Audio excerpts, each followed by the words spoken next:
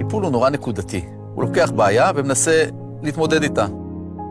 ריפוי מסתכל על היכולת באמת לייצר שחרור ממשהו שמכאיב לך, שמושך אותך, שמונע ממך את החיים במלאות. זה משהו שחייב לבוא דרך הנפש, זה הריפוי. רד הוא סוס טוב, והוא אוהב מאוד הרבה מאוד תשומת לב, והוא אוהב הרבה אנשים. בוקר טוב, בוקר טוב. מה שלומך? בסדר. בסט הכיס שלנו. יאללה.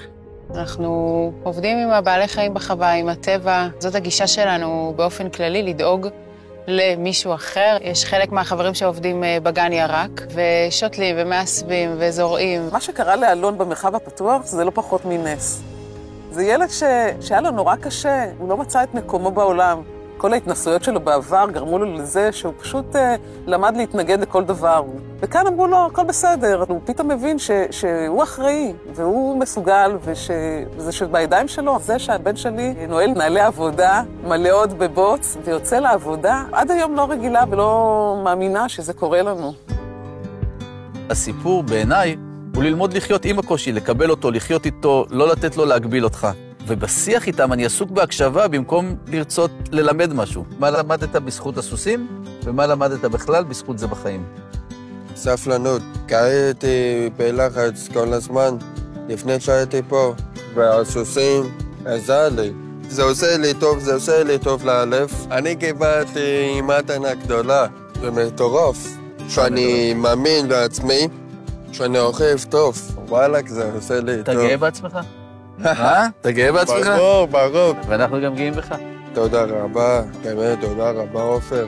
החוויה של אנשים על הרצף בעולם הזה זה שיש דרישה שהם יתאימו את עצמם.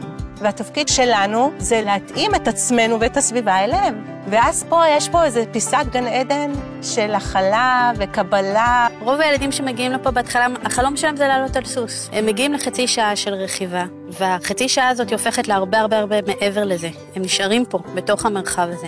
המקום הזה שנותן לך להרגיש שייך, הוא מאוד מאוד מאוד חזק פה. המקום הזה מאפשר אה, שייכות, מאפשר להגיע יום-יום למקום שאוהבים אותך בו. כי בן אדם צריך להרגיש משמעותי, צריך להרגיש שהוא בעשייה. הכי חשוב שתעיז לטעות. לטעות. נכון, התאמנת על זה. פעם לא העזת לטעות? נכון. היום אתה מעיז? אתה דואג מזה? אותו שחקנים אף פעם לא טועים. גם שחקנים טועים. בגלל זה הם מאלתרים. אה, כן. מעולה, ג'אק דירבוט. בראבו! יפה, ג'אק! הרצון לשמוע ולראות את הכאב ואת השמחה של האדם, ולהיות שותף לדבר הזה, הוא האופציה לניסים בעולם.